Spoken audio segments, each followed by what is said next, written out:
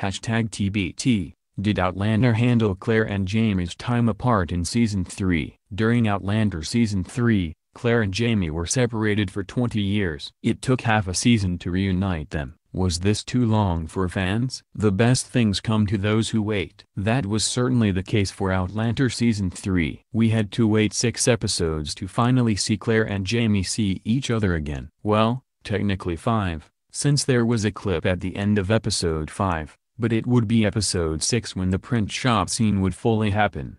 Was this too long? Could the showrunners have handled this 20-year time period differently? For me, I thought it was okay. I'd have actually enjoyed a little more time of the two apart in different timelines if I'm completely honest. I felt like the 20-year period was rushed, especially for Claire. I wanted to see more of her in medical school, her friendship with Joe Bloom, and witness more of what it was like as a mother in 1950s-1960s America. The main focus for Claire seemed to be on rushing through her 20 years to focus more on the research to find Jamie. As for Jamie, we got a lot of strategic points of his life, such as Ardsmuir Prison and Helwater. There were many more that we could have had and even Diana Gabaldon has said she'd have liked more time on Ardsmuir. Had Outlander Season 3 shown more time of the two apart then this would have been possible. But this is Claire and Jamie's story together. The problem is many fans weren't interested in seeing Claire and Jamie apart. They wanted the reunion to happen because there was so much in the tail end of the book. Maybe this is one of those seasons that could have been better with a few extra episodes. Maybe 16 episodes like season 1 would have worked better to allow for more time on the 20-year separation and then more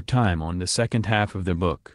It's worth noting that the 20-year period wasn't just about the two being separated. It was a crucial point in the story to see the things they did and everything that made them into the people they were when they reunited. Without the stories in the first five episodes, the rest of the season just wouldn't have made sense. Flashbacks could have been useful. One thing Outlander Season 3 could have used was more flashbacks. Rather than opting for the first half seeing Claire and Jamie apart, the first or second episode could have seen the two reunite. The two periods could have worked concurrently, showing how certain events in their lives have made them make specific choices. Flashbacks and running timelines concurrently had been used before. We had the season 2 premiere with Claire in the 1940s, before jumping back to the 1740s for the rest of that storyline. Then the finale saw the two timelines run together to tell the full story. With good planning, we could have had a season long of concurrent storylines. But then hindsight is 2020. What looked like it works for the showrunners before season 3 aired didn't quite turn out to be the case for the fans. It just goes to show the different perspectives. Would you have liked to see a little more focus on the 20-year separation in Outlander season 3? Did the storyline work for you? Share your thoughts in the comments below.